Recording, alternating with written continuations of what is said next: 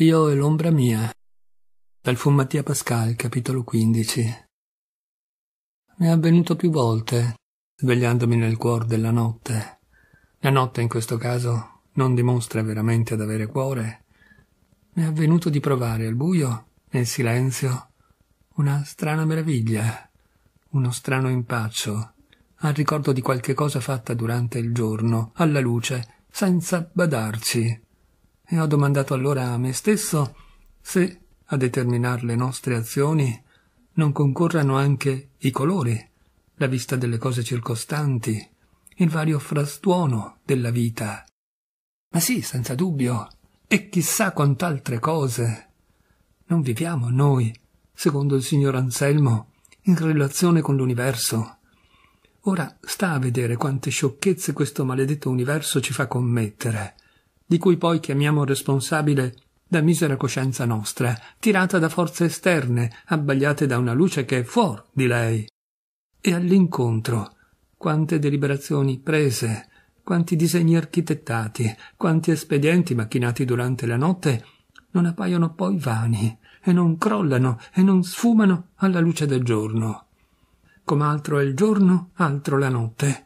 Così forse una cosa siamo noi di giorno, altre di notte. Miserabilissima cosa, ahimè, così di notte come di giorno. So che, aprendo dopo quaranta giorni le finestre della mia camera, io non provai alcuna gioia nel rivedere la luce. Il ricordo di ciò che avevo fatto in quei giorni, al buio, me la offuscò orribilmente. Tutte le ragioni e le scuse e le persuasioni che in quel buio avevano avuto il loro peso e il loro valore non ne ebbero più alcuno appena spalancate le finestre, ne ebbero un altro, al tutto opposto. E invano quel povero me, che per tanto tempo se n'era stato con le finestre chiuse e aveva fatto di tutto per alleviarsi la noia smaniosa della prigionia, ora, timido come un cane bastonato, andava appresso a quell'altro me, che aveva aperte le finestre e si destava alla luce del giorno, accigliato, severo, impetuoso. Invano cercava di stornarlo dai foschi pensieri, inducendolo a compiacersi piuttosto dinanzi allo specchio del buon esito dell'operazione e della barba ricresciuta e anche del pallore che in qualche modo mi ingentiliva l'aspetto. Imbecille, che hai fatto? Che hai fatto? Che avevo fatto? Niente, siamo giusti. Avevo fatto all'amore. Al buio, era colpa mia. Non avevo veduto più ostacoli e avevo perduto il ritegno che m'ero imposto. Papiano voleva togliermi Adriana. La signora Caporale me l'aveva data, me l'aveva fatta sedere accanto e s'era buscato un pugno sulla bocca, poverina. Io soffrivo e naturalmente per quelle sofferenze credevo come ogni altro sciagurato, legge uomo, d'aver diritto a un compenso e poiché l'avevo allato, me l'ero preso. Lì si facevano gli esperimenti della morte e Adriana accanto a me era la vita, la vita che aspetta un bacio per schiudersi alla gioia. Ora Manuel Bernaldez aveva baciato al buio la sua pepita e allora anch'io. Mi buttai sulla poltrona, con le mani sulla faccia. Mi sentivo fremere le labbra al ricordo di quel bacio. Adriana, Adriana! Che speranze le avevo acceso in cuore con quel bacio. Mia sposa, è vero? Aperte le finestre, festa per tutti. Rimasi non so per quanto tempo lì su quella poltrona, a pensare. Ora con gli occhi sbarrati, ora restringendomi tutto in me rabbiosamente come per schermirmi da un fitto spasimo interno. Vedevo finalmente, vedevo in tutta la sua crudezza la frode della mia illusione. Che cos'era in fondo ciò che m'era sembrata la più grande delle fortune, nella prima ebbrezza della mia liberazione. Avevo già sperimentato come la mia libertà, che a principio m'era parsa senza limiti, ne avesse purtroppo nella scarsezza del mio denaro. Poi m'ero anche accorto ch'essa più propriamente avrebbe potuto chiamarsi solitudine e noia, e che mi condannava a una terribile pena, quella della compagnia di me stesso. Mi ero allora accostato agli altri, ma il proponimento di guardarmi bene da riallacciare, foss'anche debolissimamente le fila recise. A che era valso? Ecco, s'erano riallacciate da sé quelle fila, e la vita, per quanto io già in guardia, mi fossi opposto, la vita mi aveva trascinato con la sua foga irresistibile. La vita che non era più per me. Ah, ora mi accingevo veramente, ora che non potevo più con vani pretesti, con infingimenti quasi puerili, con pietose, meschinissime scuse, impedirmi di assumer coscienza del mio sentimento per Adriana, attenuare il valore delle mie intenzioni, delle mie parole, dei miei atti. Troppe cose, senza parlare, le avevo detto, stringendole la mano, inducendola a intrecciar con le mie le sue dita. E un bacio. Un bacio, infine, aveva suggellato il nostro amore. Ora, come rispondere coi fatti alla promessa? Potevo far mia Adriana, ma nella gora del molino, là, alla stia, ci avevano buttato me, quelle due buone donne, Romilda e la vedova pescatore. Non ci s'eran mica buttate loro e libera dunque era rimasta lei, mia moglie, non io, che m'ero acconciato a fare il morto, lusingandomi di poter diventare un altro uomo, vivere un'altra vita. Un altro uomo, sì, ma a patto di non far nulla. E che uomo dunque? Un'ombra d'uomo. E che vita? Finché m'ero contentato di star chiuso in me e di veder vivere gli altri, sì, avevo potuto, bene o male, salvar l'illusione che io stessi vivendo un'altra vita ma ora che a questa m'ero accostato fino a cogliere un bacio da due care labbra, ecco, mi toccava ritirarmene inorridito, come se avessi baciato Adriana con le labbra d'un morto, d'un morto che non poteva rivivere per lei. Labbra mercenarie, sì, avrei potuto baciarne, ma che sapor di vita in quelle labbra. Oh, se Adriana, conoscendo il mio strano caso. Lei, no, che, neanche a pensarci. Lei, così pura, così timida. Ma seppur l'amore fosse stato in lei più forte di tutto, più forte d'ogni riguardo sociale. Ah, povera Adriana, e come avrei potuto io chiuderla con me nel vuoto della mia sorte, farla compagna d'un uomo che non poteva in alcun modo dichiararsi e provarsi vivo? Che fare? Che fare? Due colpi d'uscio mi fecero balzare dalla poltrona. Era lei, Adriana per quanto con uno sforzo violento cercasse di arrestare in me il tumulto dei sentimenti, non potei impedire che non le apparissi almeno turbato.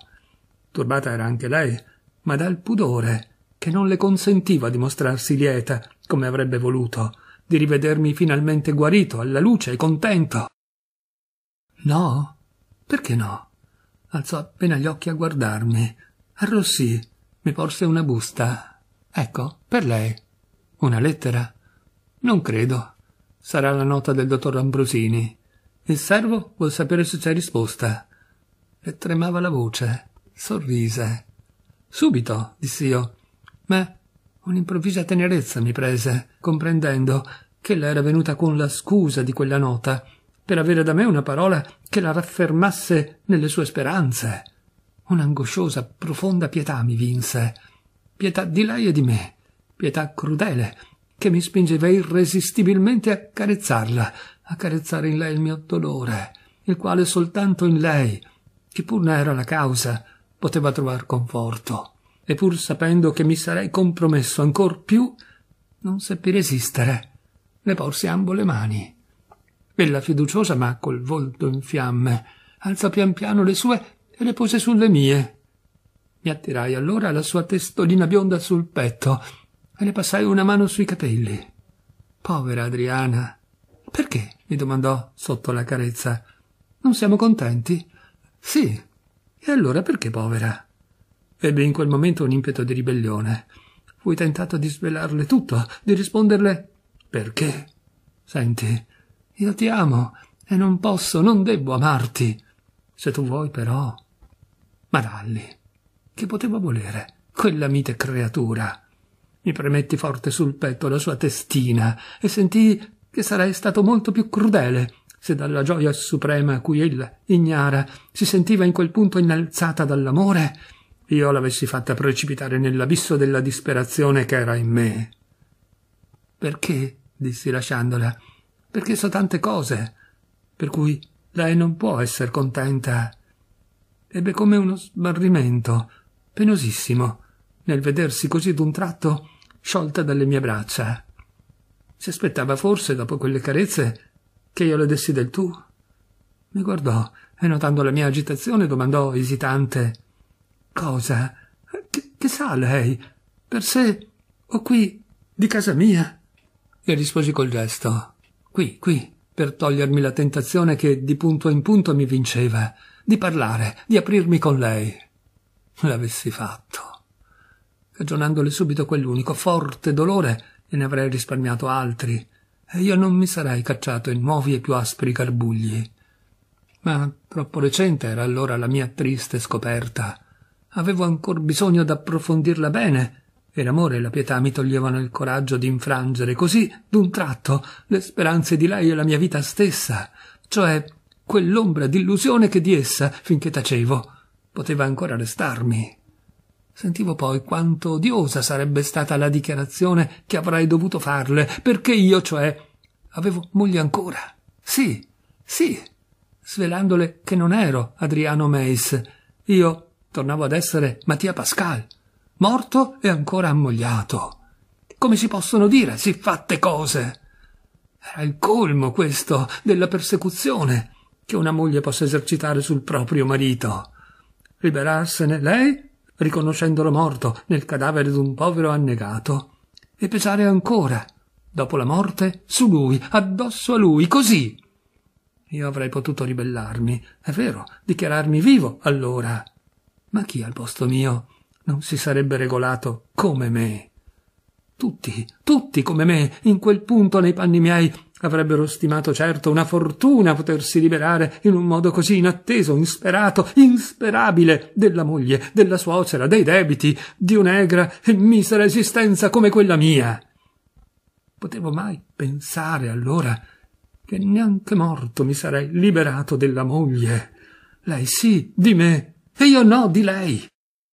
Che la vita che m'ero veduta dinanzi, libera, libera, libera, non fosse in fondo che una illusione, la quale non poteva ridursi in realtà se non superficialissimamente e più schiava che mai, schiava delle finzioni, delle menzogne che con tanto disgusto m'ero veduto costretto ad usare, schiava del timore d'essere scoperto, pur senza avere commesso alcun delitto. Adriana riconobbe che non aveva in casa veramente di che esser contenta, ma ora, e con gli occhi e con un mesto sorriso, mi domandò se mai per me potesse rappresentare un ostacolo, ciò che per lei era cagione di dolore. No, è vero? chiedeva quello sguardo e quel mesto sorriso. Oh, ma paghiamo il dottor Ambrosini, esclamai, fingendo di ricordarmi improvvisamente della nota e del servo che attendeva di là.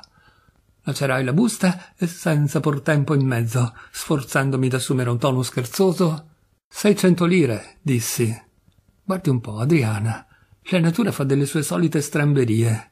Per tanti anni mi condanna a portare un occhio, diciamo così, disobbediente. Io soffro dolori e prigionia per correggere lo sbaglio di lei. E ora per giunta mi tocca a pagare. Le sembra giusto? Adriana sorrise con pena.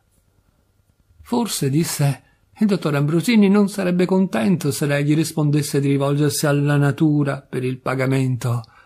Credo che si aspetti anche d'essere ringraziato, perché l'occhio le par che stia bene. Ella si sforzò a guardarmi e disse piano, riabbassando subito gli occhi. Sì, pare un altro. Io o l'occhio? Lei. Forse con questa barbaccia. No, perché? Le sta bene? Me lo sarei cavato con un dito quell'occhio, che mi importava più d'averlo a posto. Eppure, dissi, Forse esso, per conto suo, era più contento prima. Ora mi dà un certo fastidio. Basta, passerà.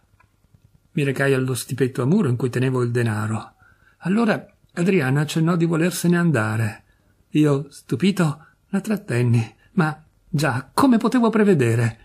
In tutti gli impicci miei, grandi e piccini, sono stato, come s'è visto, soccorso sempre dalla fortuna. Ora ecco com'essa anche questa volta mi venne in aiuto. Facendo per aprire lo stipetto, notai che la chiave non girava entro la serratura. Spinsi appena appena e subito lo sportellino cedette. Era aperto. Come? esclamai. Possibile che io l'abbia lasciata così? Notando il mio improvviso turbamento, Adriana era diventata pallidissima. La guardai e. Ma qui, guardi, signorina, qui qualcuno ha dovuto mettere le mani. C'era dentro lo stipetto un gran disordine. I miei biglietti di banca erano stati tratti dalla busta di cuoio in cui li tenevo custoditi ed erano lì, sul palchetto, sparpagliati. Adriana si nascose il volto con le mani, inorridita. Io raccolsi febbrilmente quei biglietti e mi diedi a contarli. Possibile, esclamai dopo aver contato, passandomi le mani tremanti sulla fronte ghiaccia di sudore. Adriana fu per mancare, ma si sorresse a un tavolinetto lì presso e domandò con una voce che non mi parve più la sua. Hanno rubato? Aspetti, aspetti. Com'è possibile? dissi io e mi rimisi a contare, sforzando rabbiosamente le dita e la carta, come se a furia di stropicciare potessero da quei biglietti venir fuori gli altri che mancavano. Quanto? mi domandò ella, contraffatta dall'orrore, dal ribrezzo, appena ebbi finito di contare. Dodici. Dodicimila lire, balbettai. Erano sessantacinque. Sono cinquantatré. Conti lei. Se non avessi fatto tempo a sorreggerla, la povera Adriana sarebbe caduta per terra, come sotto una mazzata. Tuttavia, con uno sforzo supremo, ella poté riaversi ancora una volta e, singhiozzando convulsa, cercò di sciogliersi da me, che volevo adagiarla sulla poltrona, e fece per spingersi verso l'uscio. Chiamo il babbo, chiamo il babbo. No, le gridai trattenendola e costringendola a sedere. Non si agiti così, per carità. Lei mi fa più male. Io non voglio, non voglio. Che c'entra lei? Per carità, si calmi. Mi lasci prima accertare, perché sì, lo stipetto era aperto, ma io non, non posso, non voglio credere ancora a un furto così ingente. Stia buona, via e da capo per un ultimo scrupolo tornai a contare i biglietti, pur sapendo di certo che tutto il mio denaro stava lì, in quello stipetto. Mi diedi a rovistare dappertutto, anche dove non c'era alcun modo possibile che io avessi lasciato una tal somma, tranne che non fossi stato colto da un momento di pazzia. E per indurmi a quella ricerca che m'appariva a mano a mano sempre più sciocca e vana, mi sforzavo di credere inverosimile l'audacia del ladro ma Adriana, quasi farneticando, con le mani sul volto, con la voce rotta dai singhiozzi. È inutile, è inutile, gemeva. Ladro, ladro, anche ladro. Tutto congegnato avanti. Ho sentito nel buio, m'è nato il sospetto, ma non volli credere che gli potesse arrivare fino a tanto. Papiano, sì. Il ladro non poteva essere altri che lui, lui, per mezzo del fratello, durante quelle sedute spiritiche. Ma come mai gemette ella angosciata. Come mai teneva lei tanto denaro, così, in casa? Mi voltai a guardarla inebetito. Che risponderle?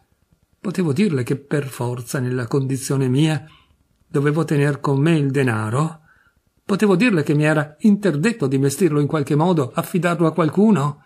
Che non avrei potuto neanche lasciarlo in deposito in qualche banca, già che, se poi per caso fosse sorta qualche difficoltà non improbabile per ritirarlo, non avrei più avuto modo di far riconoscere il mio diritto su esso. E, per non apparire stupito, fui crudele. Potevo mai supporre, dissi. Adriana si coprì di nuovo il volto con le mani, gemendo straziata. Dio, Dio, Dio! Lo sgomento che avrebbe dovuto assalire il ladro nel commettere il furto invase me, invece, al pensiero di ciò che sarebbe avvenuto. Papiano non poteva certo supporre che io incolpassi di quel furto il pittore spagnuolo o il signor Anselmo, la signorina caporale o la serva di casa o lo spirito di Marx. Doveva essere certo che avrei incolpato lui, lui e il fratello. Eppure, ecco, ci s'era messo quasi sfidandomi. E io? Che potevo fare io? Denunziarlo? E come? Ma niente, niente, niente. Io non potevo far niente. Ancora una volta niente. Mi sentii atterrato, annichilito. Era la seconda scoperta in quel giorno. Conoscevo il ladro e non potevo denunziarlo. Che diritto avevo io alla protezione della legge? Io ero fuori d'ogni legge. Chi ero io? Nessuno. Non esistevo io per la legge. E chiunque ormai poteva rubarmi e io zitto. Ma tutto questo Papiano non poteva saperlo. E dunque come ha potuto farlo? dissi quasi tra me. Da che gli è potuto venire tanto ardire? Adriana levò il volto dalle mani e mi guardò stupita, come per dire E non lo sai? Ah, già, feci, comprendendo a un tratto. Ma lei lo denunzierà, esclamò ella, levandosi in piedi. Mi lasci, la prego, mi lasci chiamare il babbo. Lo denunzierà subito. Feci in tempo a trattenerla ancora una volta. Non ci mancava altro che ora per giunta Adriana mi costringesse a denunziare il furto. Non bastava che mi avessero rubato come niente dodicimila lire. Dovevo anche temere che il furto si conoscesse. Pregare, scongiurare Adriana che non lo gridasse forte, che non lo dicesse a nessuno, per carità. Ma che, Adriana, e ora lo intendo bene, non poteva assolutamente permettere che io tacessi e obbligassi anche lei al silenzio. Non poteva in vero un modo accettare quella che pareva una mia generosità, per tante ragioni. Prima per il suo amore, poi per l'onorabilità della sua casa e anche per me e per l'odio che ella portava al cognato. Ma in quel frangente la sua giusta ribellione mi parve proprio di più. Esasperato le gridai Lei si starà zitta, glielo impongo. Non dirà nulla a nessuno, ha capito? Vuole uno scandalo? No, no, s'affrettò a protestare piangendo la povera Adriana. Voglio liberare la mia casa dall'ignominia di quell'uomo. Ma egli negherà, incalzai io. E allora lei, tutti di casa innanzi al giudice. Non capisce? Sì, benissimo, rispose Adriana con fuoco, tutta vibrante di sdegno. Neghi, neghi pure. Ma noi, per conto nostro, abbiamo altro, creda, da dire contro di lui. Lei lo denunzi, non abbia riguardo. Non tema per noi. Ti farà un bene, creda, un gran bene. Vendicherà la povera sorella mia. Dovrebbe intenderlo, signor Mace, che mi offenderebbe se non lo facesse. Io voglio, voglio che lei lo denunzi. Se non lo fa lei, lo farò io. Come vuole che io rimanga con mio padre sotto quest'onta? No, no, no. E poi. Me la strinsi fra le braccia. Non pensai più al denaro rubato, vedendola soffrire così, smaniare, disperata e le promisi che avrei fatto come ella voleva, purché si calmasse. No, che onta! Non c'era alcuna onta per lei, né per il suo babbo. Io sapevo su chi ricadeva la colpa di quel furto. Papiano aveva stimato che il mio amore per lei valesse bene dodicimila lire e io dovevo dimostrargli di no? Denunziarlo? Ebbene sì, avrei fatto. Non per me, ma per liberar la casa di lei da quel miserabile. Sì, ma un patto che ella prima di tutto si calmasse, non piangesse più così, via via, e poi che mi giurasse su quel che aveva di più caro al mondo che non avrebbe parlato a nessuno, a nessuno di quel furto, se prima io non consultavo un avvocato per tutte le conseguenze che, in tanta sovraccitazione, né io né lei potevamo prevedere. Me lo giura? Su ciò che ha di più caro? Me lo giurò, con uno sguardo, tra le lacrime, mi fece intendere su che cosa me lo giurava, che cosa avesse di più caro. Povera Adriana.